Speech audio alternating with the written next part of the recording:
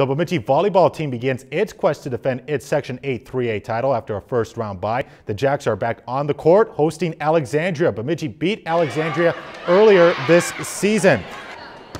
Bemidji won the first set. Second set, it was back and forth late. Ali Heifert with the kill off the block. Bemidji takes a 21, 22 to 21 lead. Later in the set, when Bemidji needs a big point, who do they go to?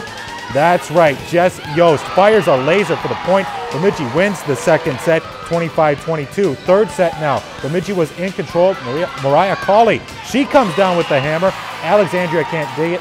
What a kill. Bemidji advances to the next round, winning by a final score of 3 to 0.